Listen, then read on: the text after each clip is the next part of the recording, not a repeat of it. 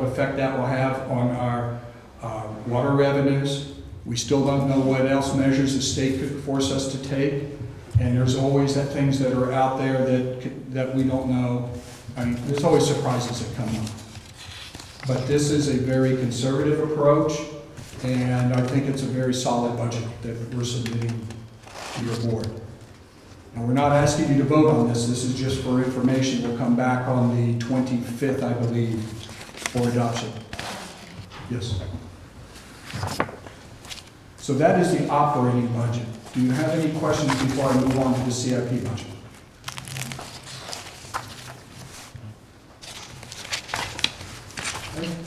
Seeing none? Now, capital improvement projects are generally more than fifty thousand dollars, anywhere from one to three years.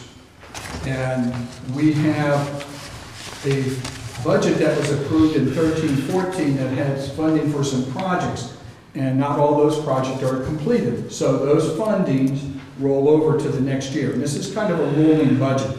We will take a look at, and you, we haven't, uh, actually, I have a handout that's at the, that's a separate handout for you that's at, uh, provided that goes, that shows the water and the sewer CIP budgets. It's a two-page handout.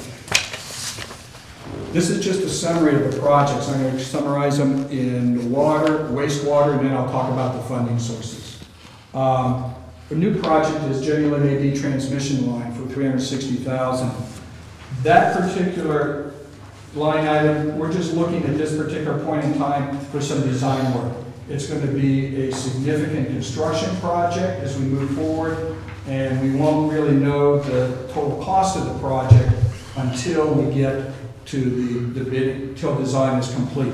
But what I'm showing you is the cost for fiscal year 14, 15. If you look at this page here, page number one for new water projects, you'll see that it's a little over a $4.1 million project at this particular point in time. We're only at this particular point asking for funding for 14, 15, and that's that shaded column under cash flow. Under carryover projects, we have the redwood tank replacement, that's where we're getting uh, 75% funding from the OES grant. Uh, Reach 3A pipeline project, um, that's about a $5 million project, we should go into construction next year, and depending upon how that process works, some of the construction costs will carry over into 15, 16 as well because of the construction season up the hill, but we're asking for 3.5 million. We, when, if for some reason the costs change when we do go out to bid and actually have the construction contract bringing to your board, if there requires an adjustment at that time, we'll bring it to your board for that adjustment. These are preliminary numbers. The tank management plan is a carryover. Uh, The Techite replacement, we, that's a carryover project. It's been scaled back a little bit. And um, my fault, I left it in the, I- the Lynn Navy tank should just be above that eliminated. It's a new project. And then Flying Acres, that project will be completed um, next fiscal year, probably July, but we'll still be having payments ongoing probably through August and September as we clear that out. But that's being funded solely from the assessment district, but it is a capital project that we're managing. Quick question before you leave that one. Yes. There's three and a half million there for the Ebbetts Pass pipeline, is that for the entire pipeline or just for a portion of it? That's Reach 3A, which is about 18,000 feet. Okay, so it's just One part of the portion. upper port for the site.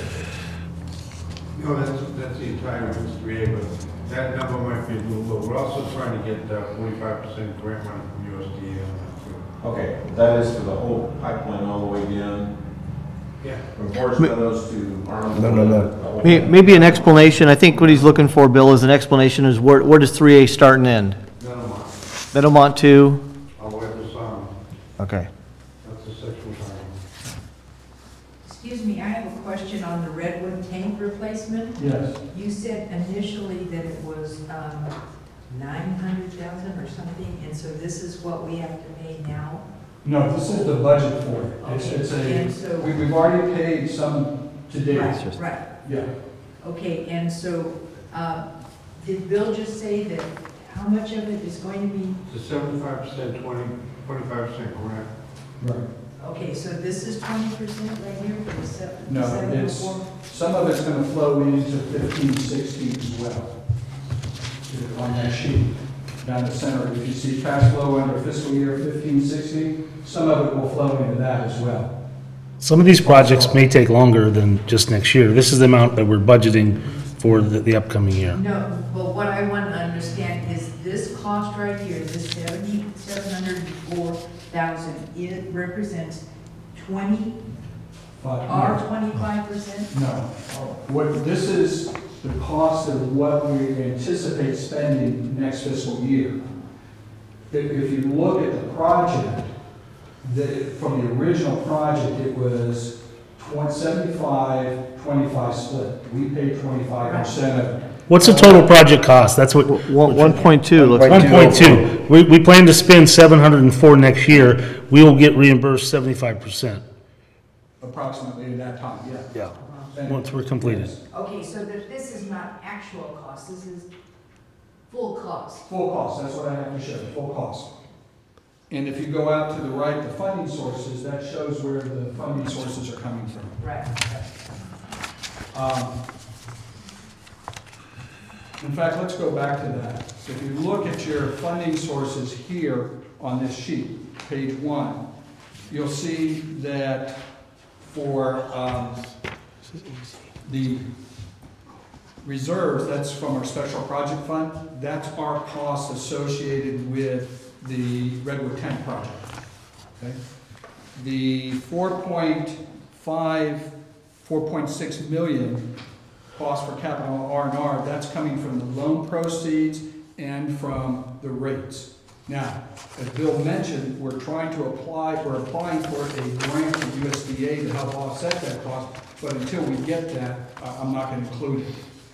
And then we also have some grants coming in for um, the the Redwood Tank in the amount of eight hundred and seventy thousand. The Flying Acres is being funded by the assessment district, that's in the last column to the right. So this kind of goes over the funding sources. I, I want to compliment you on this sheet. It's real clear. It, it gives us a, a real clear understanding of where the money is being taken from. And I apologize for having not exact numbers, I forgot to bring my glasses. And the fonts are a little off. Okay, wastewater projects, We've got two new projects. Um, the Vallecito wastewater storage pond expansion, that's a project that we submitted under round two implementation grant for Prop eighty-four. And the Avery Main, Main Lift Station Replacement Project. Uh, these are projects that we've been on our capital R and R list. Some of these projects, I'm gonna, uh, put a, a qualifier out here. The biggest project here is gonna be the Copper Cove Lift Station twenty-two replacement. The cost of that project is estimated at one point six million, but until we know, actually know how much it's going to be, we're gonna have to hold off on some of these other projects, because if it goes over budget for some reason, we may have to scale back some of these projects. Doesn't mean we won't do it, it just may be shifted into the next fiscal year. But we want to include them as this process, because we may get into early planning and design for some of these projects. Because we want to have them ready to go once the money's available. Carryover, we're continuing to work on the Copper Cove reclaim permit. Uh, the two hundred and fifty thousand you see is for construction of a, What we're trying to do is we're trying to get the NPDS permit rescinded, so we don't have to build new plant. What we're trying to do is we're gonna set up two, uh, vertical turbine pumps to send raw water to the wetlands over there. That'll get us out of, uh, all the NPDS stuff, and then we can move on to general irrigation. We, we probably save ourselves over ten million dollars for doing that. And the other thing, too, the West Point Wilseyville, we're asking for four million dollars right now. We have the application being submitted for uh, consolidated West Point Multi bill grant. the money that you see there is for the study. Yeah. That's how much grant. Even the hundred and thirty thousand you see is, is grant money. That, that's the study that's being performed right now. What, what do you see as far as, as the consolidation savings?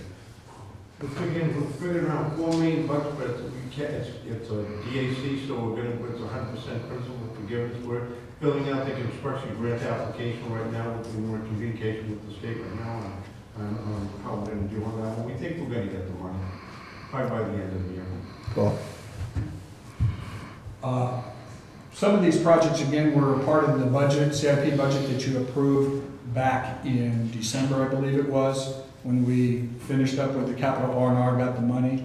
Uh, say, Forest Meadows, Forest Main, and uh, Copper Cove, Lift Station 15 and 18 electrical. We're also planning on doing, probably a misnomer when I say master plan updates, it's- a capacity fee update for Copper Cove sewer and La Contenta sewer. So we should work, we're currently working on Jenny Lind Water and Copper Cove Water right now. Once we finish those, we'll move on to these. Are we bringing in somebody to do the master plan updates? Yes. Who, who are we bringing in? I'm not sure about Copper Cove and La Contenta at this point, because we generally go out to bid. We have a system, we set up the same thing, we did, we did, we just did Ebbetts Pass. We have the same guys doing, uh, Jenny Lind and, uh, and uh, Copper Cove right now, and they can do the same thing for the wastewater. So we've got, we have a a methodology that we need to, uh, evaluate the system. Peterson Brustad is doing the current Oh, one. yeah, that's what I wanted. Yeah. Peterson and Brustad. Yes, but they're not, we, we haven't, uh, made any proposals for the this master plans for, actually capacity charge updates It's actually, for, uh, La Contenta or Copper Cove at this point. yeah, they're not master plans, those No, are capacity. capacity, Capacity yeah. charges, is what we're looking at. And if you look at page two of this handout, on the wastewater side, again, there's cash flows. What we're looking for approval in two weeks will be on the cash flow for fourteen fifteen, uh, two point two eight million. And the rest of the, and the funding comes, sources are listed over on the right-hand column. Forty thousand expansion funds for the capacity fee updates, 1.6, 1.7 million, or 1.9 million dollars, capital R and grants for the uh, West Point Wilseyville study at this particular point in time. Now, one of the things I did is to go back and do a projection of our revenues, anticipated revenues from the capital R and R program. Look at those, factor in our debt service payments, because we pay debt service in September and March of every year. And then look at to see if we have enough cash flow between the proceeds and the revenues collected, and we are fine for the next two years. Actually, three years in looking at some of these that go out. But the projects that we're looking at funding here, we have, we have adequate cash flow, and our projections are pretty darn close. Uh, Through nine months, I'm off by maybe, I've underestimated sewer by about fifteen hundred dollars cumulative, and water I've underestimated by about four thousand dollars cumulative over nine months. Well, Jeff, I wanted to uh, reiterate uh, Director Stump's sentiment um, about this um, sheet. And it- This is, it's been fuzzy, it seems like, uh, in recent months, and it- this clears it up. These la, this last section about uh, where funding is coming from, and uh, this, this looks very good. Good, great, great job. Thank you. Thank you. Um, This might be a little bit off topic, but I'd like to bring it in. The, several months ago, first part of the year, we were told how you, they were, how staff picked the, the people to, to do this stuff. Uh, It was on a professional level, and so it wasn't a bid process, and so the process was how to identify the, the people that we were going to be working with. I was never real clear on that process. I was wondering if maybe at some point into the future, we can, that process can be brought back to us so that we understand how these people are being picked, if it's not on a uh, competitive basis. Would we're gonna, it's funny because the committee, asked me, I'm making an adjustment to the, the process that was, was sort of used. And We're gonna go back to the district policy, which is anything over hundred thousand dollars has to be, uh, RFP'd out the door. That's- And what I'm doing is, we're doing, we're defining the scope of work, we're defining all the rest of that stuff, so we're, I've suspended some of the, uh, work that was being done and done a reevaluation of, of how things are going. And I can, I believe the engineering committee wanted me to set up a meeting to go over some of the stuff I was doing. So I'll, I'll get that done probably in a month. But yeah, we're gonna go to a more conventional way of doing stuff, actually to follow the, the the policy here. Thank you very much. The total CIP budget, as you, that that you'll see under the bottom of page two, uh, under fiscal year 14, 15, is about approximately 9.6 million. And we're making good headway into this.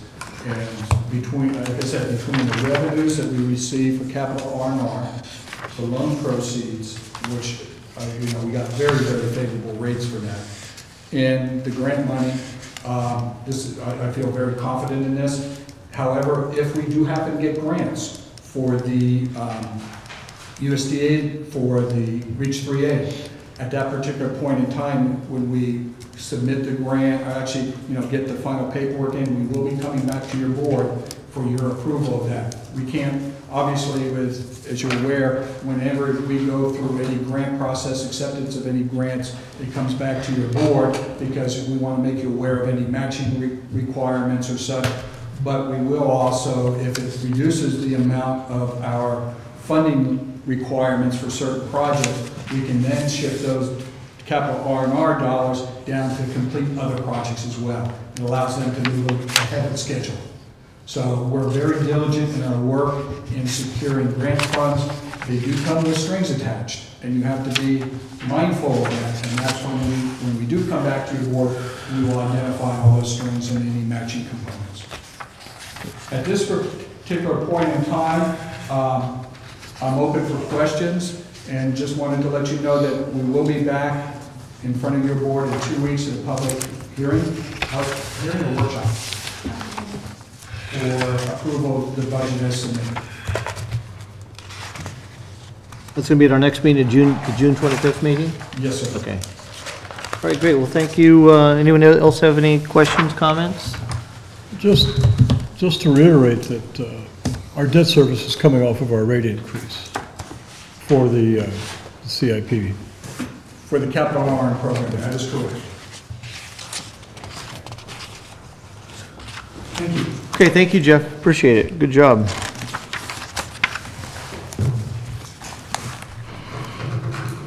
Okay, moving on to uh, item six on our agenda, committee reports.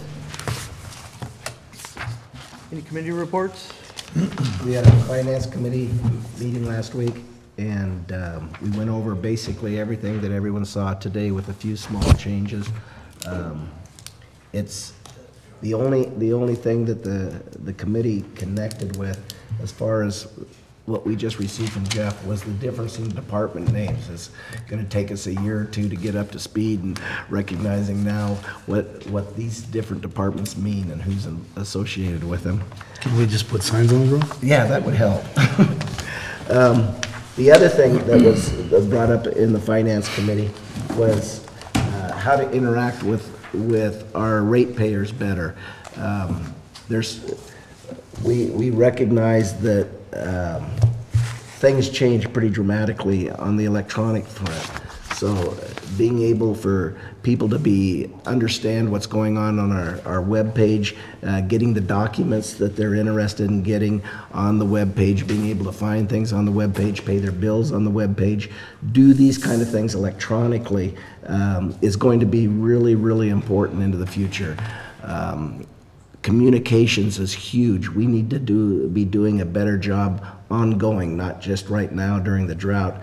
And the webpage is critical to that. So uh, I know that, that Scott and I both are real, real excited about this process, and we'd really like to see this thing take off soon, uh, or at least do some investigation so that we can recognize which direction we need to be moving in, because we feel this is really important. But other than that, did you have any, any comments? No, you covered uh, the finance committee meeting pretty well. Thank you. Thank you, Don. Any other committee Do we want reports? to talk about the um, Wild and Scenic or What's up next? It's on, It's, uh, it's on the agenda. legislative, or what was it? I- Yeah, we got It's the one. agenda. got its own item, uh, Okay, it's that's fine. Oh, I'm sorry. I it's its own missed that committee. somehow. Okay. Any other committee reports besides the Moke River Wild and Scenic? No, I, we we did meet, I don't know if we met the last time with the engineering committee, but we are interested in looking at what, what consultants are doing what for us, and, and to make sure that that list is prioritized, and, and then uh, have uh, staff look at um, wh- what's, what are necessities and what aren't. And uh, so I'm looking forward to that. uh, And when, report. and is an engineering committee set at this point? A meeting set? I don't believe so. Okay. Any other committee reports? Okay, we'll go on to, uh, which is a committee, but the Mokelumne River, item seven, Mokelumne River Wild and Scenic Designation uh, Committee. Uh, One of you two gentlemen wish to report? Want me to start? Yeah, sure. This is moving really, really fast. Um, We've, Jeff will report out on the East Bay Mud meeting that took place yesterday. He attended that. I was involved with the UMRA meeting. Um, We are having a special meeting of UMRA on the 20th at 11 a.m. at Pardee to discuss wild and scenic. Uh, It's, it kind of hinges upon what Jeff is going to talk about. It's a critical meeting. Uh, We're, we're working with all of the water agencies in this region, Amador, Calaveras, and San Joaquin, trying to, to figure out how we can, can be, um, we can be supportive of wild and scenic as long as it protects the future of the residents of the counties. Uh, This is our focus. The- The future is our job as, as water, water district people. We need to, to be making sure that our, our residents in Calaveras County have that future water supply. And I think that we can meld those two together and make everyone uh, semi-happy, but we can't rest until this, this actually takes place. Uh, We've got multiple uh, lobbyists working on this. We've got basically every major water agency in California has come out, ACWA has come out against it, Mountain Counties has come out against it. Uh, uh, Northern California agencies have come out against it. I, it's, from a, a standpoint of water, this is, this is a, a critical issue.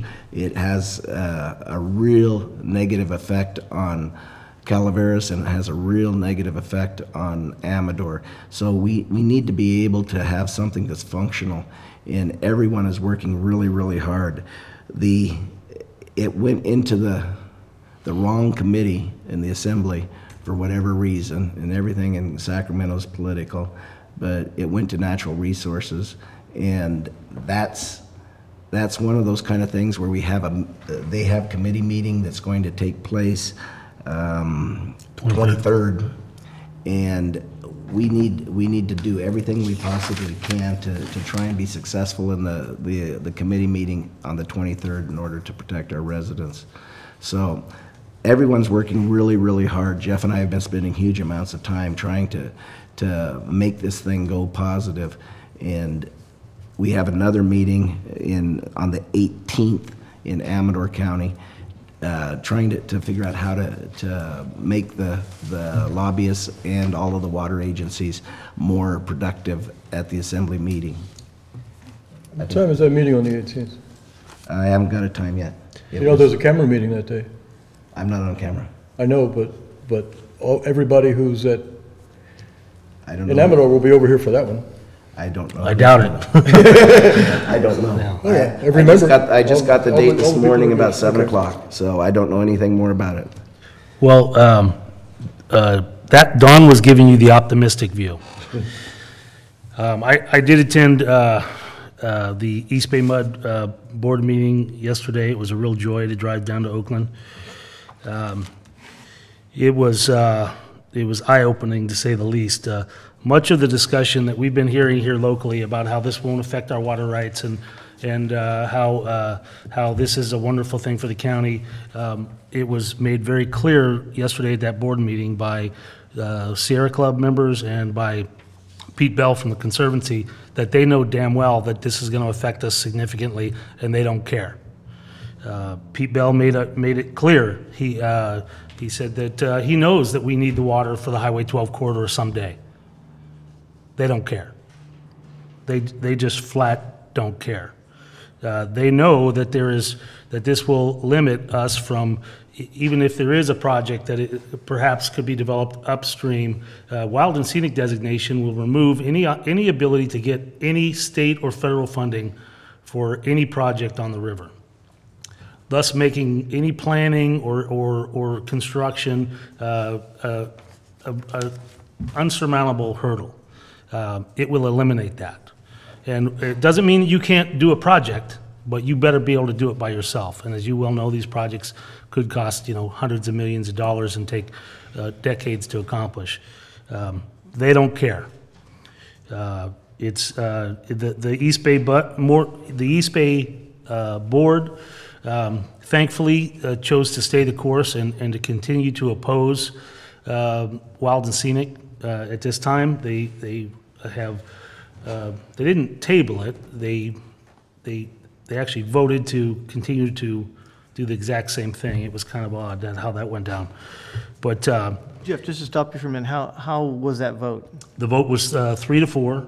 Um, It's very clear that there's, there's uh, four environmental, uh, or three environmental um, absolute yes votes. They're going to vote wild and scenic every single time, the board chair being one of them. And there are uh, three, uh, I believe, uh, and the, the main sentiment, which was really uh, refreshing from, from Bill Patterson, from uh, Frank Mellon, from um, Katy Foulkes, and from John Coleman was they don't want to lose the cooperation and, and the successes that we've had through UMRA. And, and, and Bill Patterson probably said it as well as anybody. He, you know, and he, he basically said, you know, imagine, because we formed UMRA years ago to protect the, uh, PG&E was going to have to divest, uh, the, is it Project 137 or? They were going to have to divest Project 137. Uh, We formed UMRA, Upper Mokelumne Watershed Authority, to, to, in the, in the case that the bankruptcy judge made them force it, we were going to try to acquire it, so we had control over the river. And, and Bill Patterson and John Coleman and Katy Foulkes recognized that it was the upcountry groups that without our help, they never would have been able to do that, and most likely, uh, uh, PG&E would have uh, sold that facility uh, to uh, another private company that would have ran it however the hell they wanted. Uh, So they're very appreciative of that. They, they don't want, those four do not want to leave us out in the cold. I mean, believe it or not, a a Sierra Club member uh, stood up and said, you know, there are 30 times more people uh, than in all of Amador County that are your ratepayers. You need to listen to your ratepayers. I mean, they actually made that statement in public that basically says, screw the people in Amador County.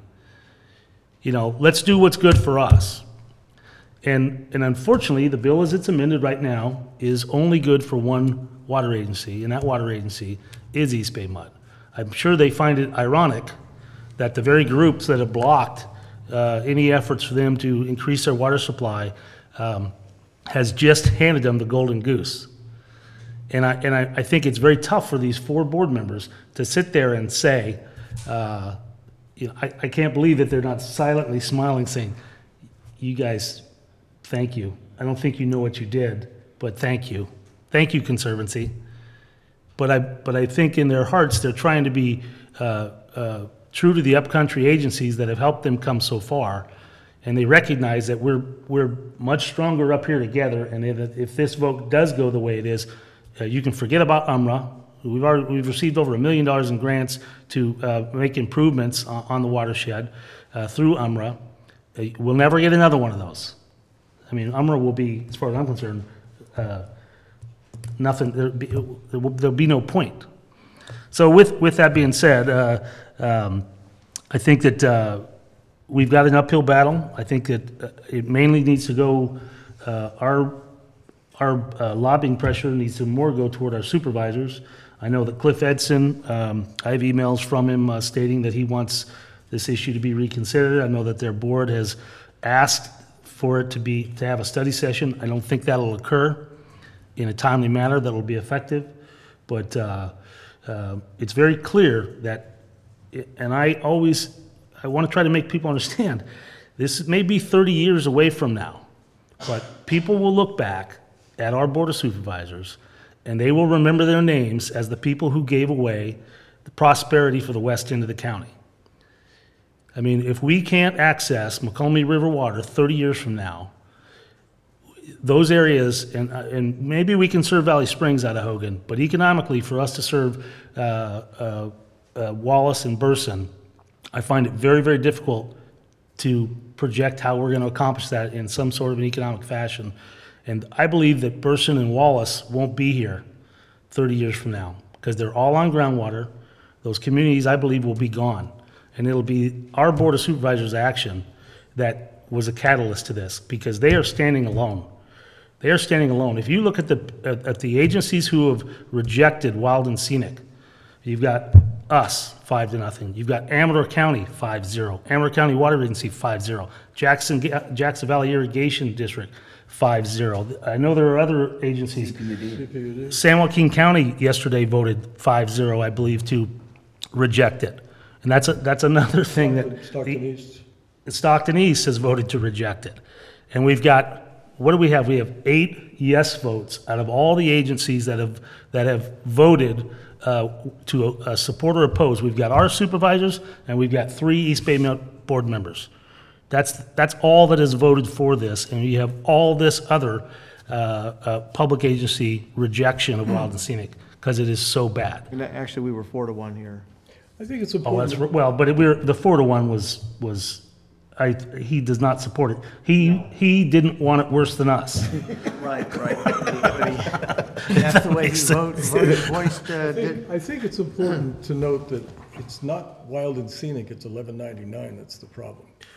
Well, and, and, and to get back to the language, because it keeps getting, it keeps drawing attention to, it shall not harm the river. It's like, yeah, you can do anything you want, as long as it may not harm the river. And that decision as to what may harm the river is, it- we're shifting that away from the normal CEQA processes and, and things that are incredibly onerous. I mean, there's a, there aren't any more reservoirs and, and, and it's a very difficult thing to do already. The river is protected. There's no threat to the river.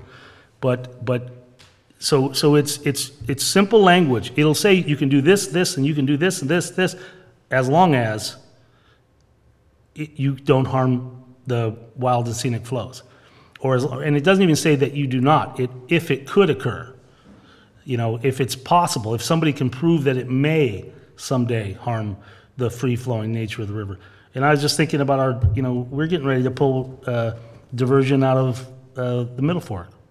I mean, what if we ever wanted to increase that diversion? It would be rejected. Confluence, of- yeah, the confluence with the uh, affected stretch is just downstream. And therefore, it would affect the free-flowing nature of the river, and it would be rejected. We couldn't even make that application. You can't make an application for a water right on a wild and scenic river. I mean, it's, it's just incredibly bad, and, and I, I hate to tell you that I think it's gonna happen. Why did you say that was the wrong committee, Don, when you said natural resources?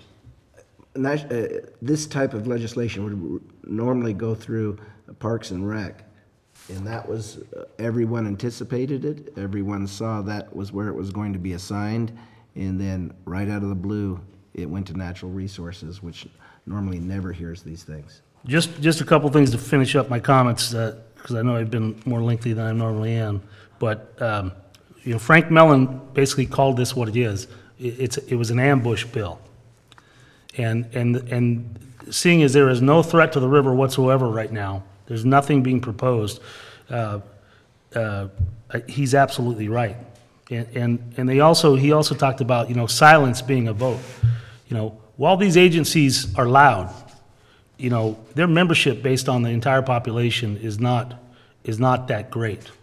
While they have time to attend all the meetings and, and they can sway votes, I mean, the fact that people, and even our silence, nobody even come, you know, we've had one or two really crappy articles in the newspaper about this thing. You know, I think it's the most important thing that I've ever seen on the, since I've been on the board in 14 years that's come forward, and we can't get anybody to pay attention to it. And, and, and the silence matters. I mean, it just, you know, on both sides.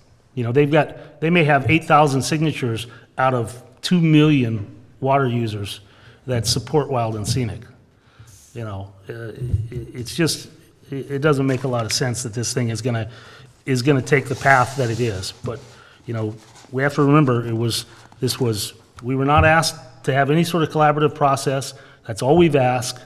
That's what we want now, is to have this thing stopped until we can have a collaborative process where, where uh, the Conservancy and our Board of Supervisors and East Bay Mud and all the other agencies can have an opportunity to say, how do we preserve the river, which I think truthfully, I think the water districts do a great job preserving the river. Uh, We care about water quality as much as anybody else, if not more. But we want to have a a collaborative process where we sit down and, and not just talk about protecting the river, but say, how do we actually serve the, the, our populations, particularly up here in Amador and, and Calaveras counties? Because I can tell you right now, East Bay Mud knows that the language that's in the bill today protects them. They're absolutely certain of it, and thankfully, they have four board members that have enough character to still try to include us in this, in, in this freight train. I mean, right now, we're basically tied on the tracks and the train is coming down the road. Uh, it- That's the state that we're in with Wild and Scenic. I I think it's interesting that uh, in the, init- in the original, initial report that East Bay Mud staffs developed when they talked about the Wild and Scenic a month or so ago, they, uh, they stated that the the Wild and Scenic, as it's, as it's proposed, is beneficial to East Bay Mud. They stated that right in their, their staff report. And No, they, yesterday they're talking about, hey, we got, we know we got what we want. Yeah, oh, I mean, yeah, they made it very clear, we got what we want. yeah, yeah. But I think it's kind of ironic that uh, the flows that we're talking about preserving only exist because of the upstream dams. Stop and think about it. Well, the, the, what's tricky is with, with climate change, there is no way that we can, we can predict that the flows that exist today are gonna be there thirty years from now. We cannot predict that, you know, it, the, you know, all the scientists will tell you that it, there's gonna be less, uh, snowfall and more flash, uh, uh, events. And so it is gonna be wise just to maintain, it, it may be necessary to maintain the existing flows that we have today, uh, to have a larger reservoir above. But it's definitely dependent on Amador County's, uh, potential to manage their, their customers and, and us in the, more so in the future, but definitely someday, uh, to have something, some sort of project on that, on that river. I don't think that there's a lot of people in Calaveras County that recognize that we've got twenty thousand acre feet of water on the Mokelumne. Our residents benefit zero on that twenty thousand acre feet. That's a huge amount of water. Who does benefit? East Bay Mud. It flows right into Pardee, right down the, the hill. That's, that's not a bad thing, because we don't have the ability to use the twenty thousand acre feet. But like Jeff says, this is our future. This is, this is what Calaveras has a potential to look like, either negative or positive. You lose that twenty thousand acre feet capability into the future, it's going to shift how Calaveras County is going to look. And I'm, I'm right in the face of the supervisors when I say this. They made a huge error and they have, they don't have the gumption to stand up and say, we didn't recognize the ramifications. We need to change our mind.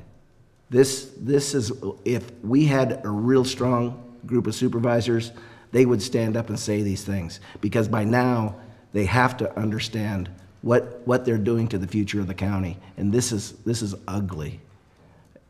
We don't have a real good history of uh, making good decisions in Calaveras County, and this has got to be one of the worst that I've ever seen. One, one more thing that I'm going to, I had a UMRA meeting yesterday regarding wild and scenic, and I want to report out that Foothill Conservancy was in on the, the meeting, and they want to be included in UMRA. So that's going to be on our agenda at the next UMRA meeting, and I want to make sure that the board recognizes that that's something that we're going to have to vote on in the upcoming months, and I want you guys to just recognize it's coming. What do you mean by have, be on number? It's on the agenda. They But, want to, but what does that mean? It's got to be clarified. They want to be a member of them? Want to be They a can't. member. Legal is looking at it right now. It's interesting. I think that we, we, I think that we had that conversation years ago, and they, they're, they're not the proper entity to be a part of that They have to be JPA. a public, a public I agency. think that they're, you know, it's, it's, they, we, we talked about them being advisory at one time, and they, I think that's the role they've always had, but, um, it seems like we've already, I mean, we've dealt with that a decade ago, but we'll see So how what much money are we going to spend to, to make that decision now? I don't know. It'll be immaterial. Well, of course. Um, UMRA will be immaterial if Wild and Scenic passes. Okay, uh, Jeff and Dawn, thank you very Well, much. I mean, uh, we, for we your- are clear on the dates. Everyone's clear on how fast this is gonna occur.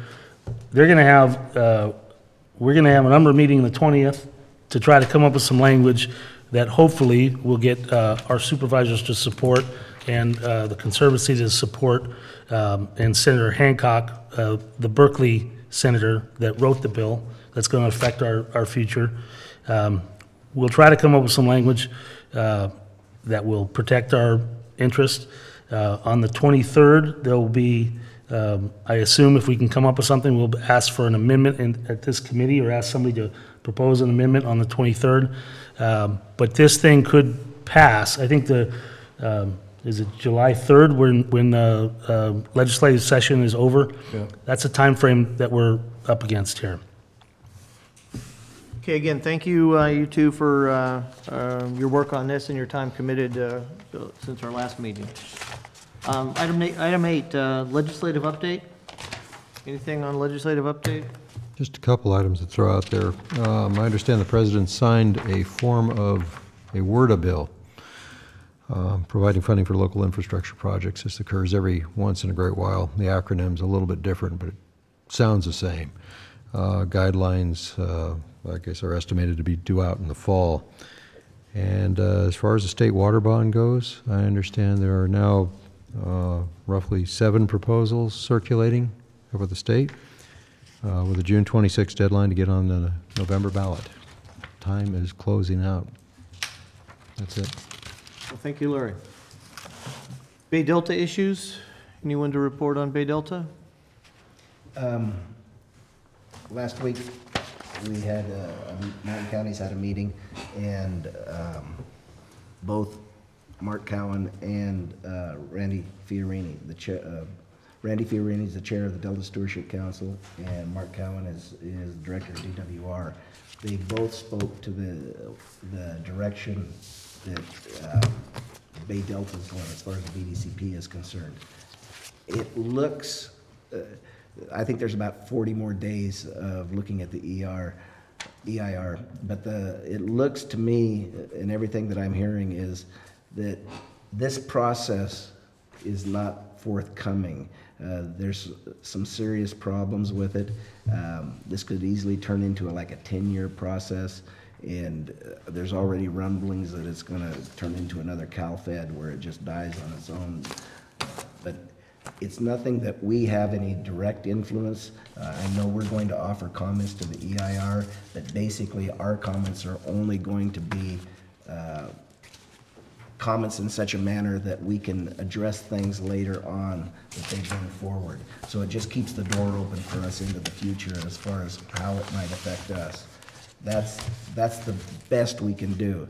Uh, Someone said that the document itself, if you printed all the pages, was eight or nine feet tall. So it's not anything that, that we are able to, to dig into. I don't know what the biggest problem that we're worried about is flows uh, on the river, uh, what might be required of, of our watersheds. So those are the things that we're looking at, but it's nothing that we're going to be able to deal with in the short term, other than commenting on the EIR. Okay, uh, on to uh, reports. Larry Diamond, interim general manager report? Uh, We've received uh, a request from Blue Lake Springs for water support, and uh, concurrently, an email from uh, California Department of Public Health uh, advocating uh, that we do so. We'll be bringing this back, um, I think, at the next meeting for discussion, possible action. Um, Additionally, uh, you know, Bill's been in discussion with CAL FIRE, maybe he can say a few words about that, but we've received a request for water assistance from them as well. We're gonna try to set them up with the valve seal. I, I, I just wanted to comment on that.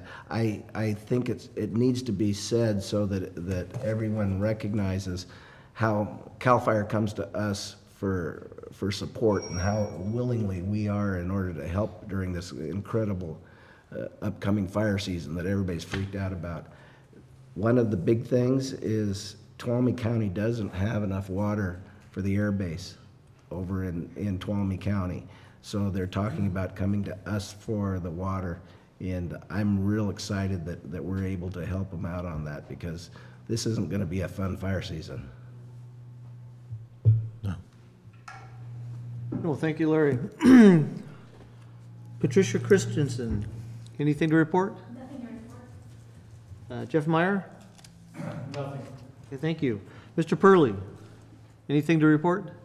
I'm gonna close the water system down all district-wide, just in Ottawa Village. Flying Eagles is about fifty percent complete, and area one's almost completed, we're pushing those guys to start getting. Bi- Bill, can you come up to the microphone? We could catch a little bit of this. Thank you. So- Sorry. Trying to sell it. We gotta get a hand mic to pass around. Yeah. Well, that, Flying Eagles is about fifty Especially percent, if Bill is uh, near. complete right now. Area one will be completed probably within a week or two. We're trying to work with the homeowner, of the uh, Homeowner Mutual Asso- Association up there to start getting those guys, uh, get their services set up so we can go. We're expecting the whole job to be done by the end of July. That's running pretty good right now. We're doing about, probably about 600, 800 feet a day of pipeline. And plus, we're picking up the services too, so we'll be, we'll be finished probably July, probably August.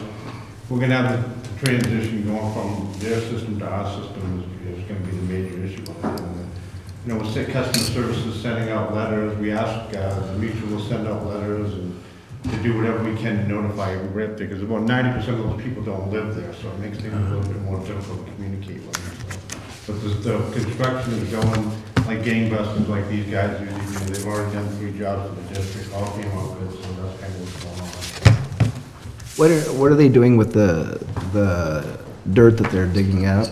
Now, the funny thing is, they're, they're gro- they're taking it down to Carson Hill, so they're, br- they're swapping the trucks. I was asking them what, what, because I saw the trucks going by, and we, we gave them a spoils uh, at, uh, at the office, so they're not using it. Apparently, they're taking it down to Carson, so, so they take one full one down and one full one back, so that's what's been going on.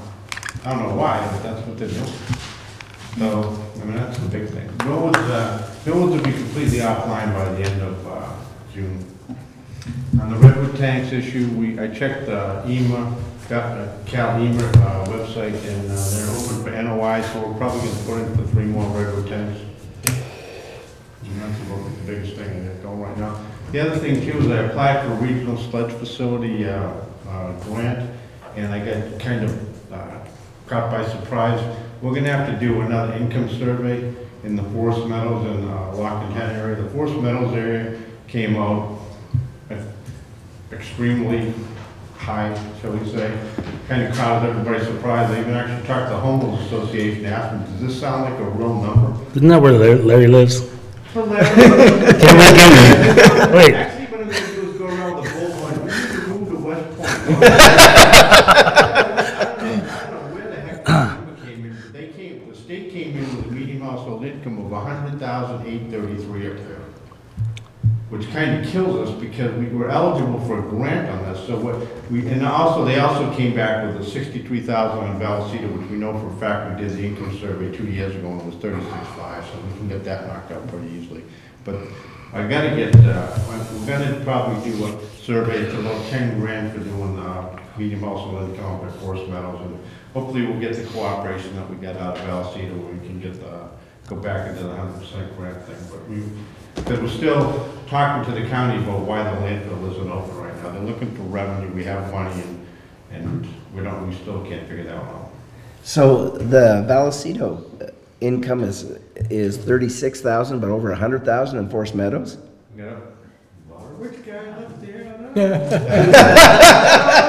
can't, I thought, I mean, I just ran by the homeowners after I saw the thing back from the state, I go, did you guys believe this number? And they said, uh, no. So what we're gonna have to do is, in order to get that number knocked out, we're gonna have to do the same thing we did at Vallecito. We'll hire an independent company to come in, they do a survey, and people respond, and we get a certain amount of responses, then it gets certified to the state, and we can get the income changed to what, what it- what it is.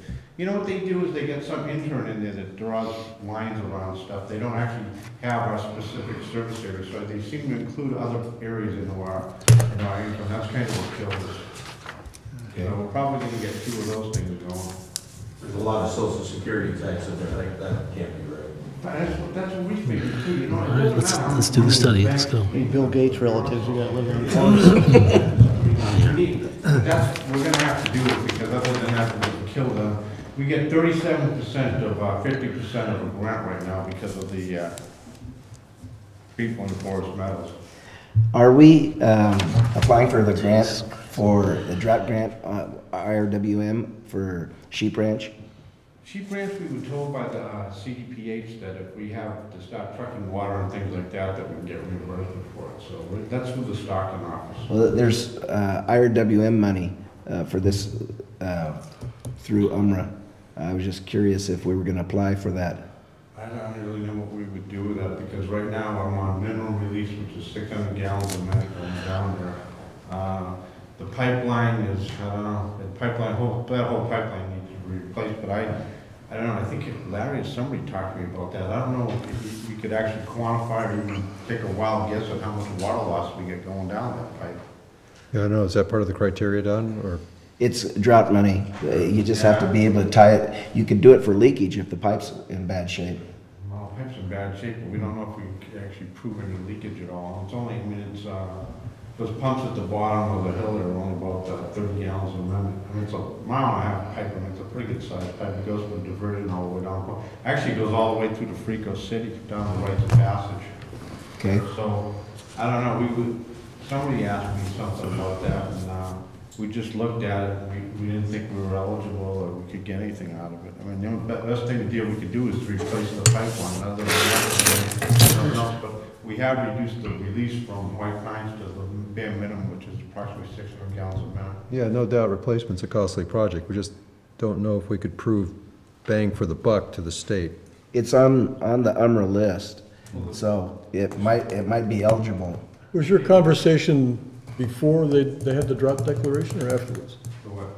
The, you said the conversation about the value and, and and whether, whether or not it would be cost effective to replace that Well, we, pipeline? well, we know, we know, what- from the district's point of view, it's not cost effective. Okay. So you only get, uh, thirty-seven people. Well, I understand that, but, but was that conversation prior to the drought declaration? Because that's what Don's talking about. We've been having constant conversations. Before the curtailment notice was issued, we were actually, CDPH had already called us up and told us that something was coming down the pipe. And me- Larry and myself were on a conference call with them, and they were kind of surprised that we hadn't got the letter and stuff, because they had this map, this list of people that were on the list. We, this stuff's been, we we haven't sat on this, been going on for months now. So we've been going back and forth with anybody who's got any money, USDA, SRF, CD, CDPH, anybody who's got any money out there. We've been trying to figure out what angles we could get and stuff. Um, CDPH only has like fifteen million dollars for leak detection. What they were more concerned about is extending water lines to people that actually don't have water. The, uh, you're talking about, you know, we, I looked at that pipeline before, yeah, it probably needs to be replaced, but then again, you're also dealing with only thirty-seven customers down there, so, you know, plan B would be in case, and this has happened to us before, is when we lose the pipeline or one diversion, what we've done is we basically just hire somebody and just fill the tank up like once or twice a week maybe, so it's about maybe five grand every couple of weeks to fill up. We use, I think you were asking, we use Eldorado water and shower, so I mean, that's what, that's what you're really dealing with there. And what CDPH told me was, is, okay, if you get uh, stuck doing something like that, just send us the bill and we'll reimburse you guys for it. I know Okay. the IRWM money was Sounds like an item we need to million. agendize. We'll talk about it Okay, for let's 10 move on minutes. on, uh, on, on these re- reports. Any, anything further, uh, anything in addition? My golf game is pretty bad these days. But, but yeah, no, we met with both golf courses and we've gone over the issues with, uh, with the water, that's about all I can talk about. Yeah, Flying Acres ought to be done completely by the end of July, and we need to start getting those people moved on. That's it. All right, thank you, Bill. Good, good to see you at the meeting. Thanks for coming. No problem. Board reports, information, future agen- agenda items. I Mr. I have, Davidson. I have a- an agenda item. I'm, um, I'm, uh, I'm curious as to what we're, what, what the status is of our old facility. Um, I know that, I went over there, I saw we've made repairs to it. I understand it's being occupied. I'd like to know what the cost of, of our utility bills and things of that nature are. And then also as to whether or not it is, um, even proper for it to be occupied. Um, We don't have any staff members down there that I'm aware of, so I just think that we need to have some sort of report to make sure that we're not doing anything that is going to get us in trouble. Future agenda item? What, who's, what's it being occupied for? I, I can't tell you for sure, Okay. but I know it's being occupied. Future agenda item? The old, uh, old office building. Okay. Anything, any other, No, uh, that's it. Director Stump? Uh, tomorrow, I'm, um, I have to go to Tahoe for a panel on drought effects upon districts. Um, Everyone seems to be real nervous how all the districts are going to deal with the costs associated with the drought on the budgets of the districts. So, got that, and then on the, like I explained earlier, I've got a meeting on the 18th uh, regarding Wild and Scenic, and then we have an UMRA meeting on the 20th. That's it. Director Dean? Um, I'll be at the same conference that uh, Donna's going to be at, and uh, there's lots to talk about, but nothing, nothing of any great moment, so. Okay.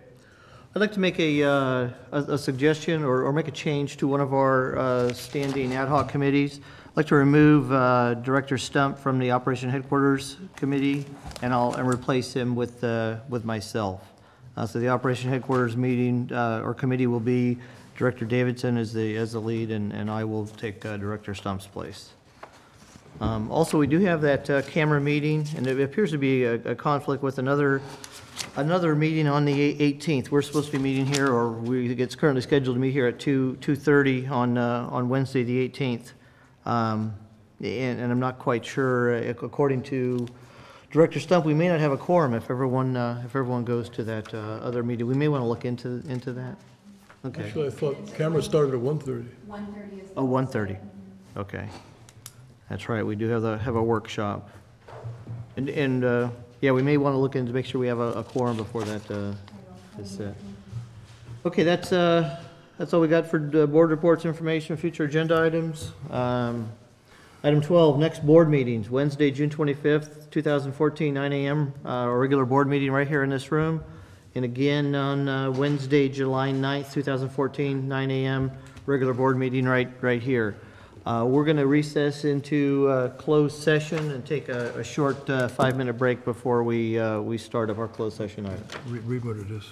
Is everybody going to stay for? Oh, closed session, I'm sorry, public, uh, uh, public employment, general manager recruitment, um, government code 54957. Thank you. Is everybody staying for closed session? You guys staying? Yeah. I'm not. I gotta get up the hill.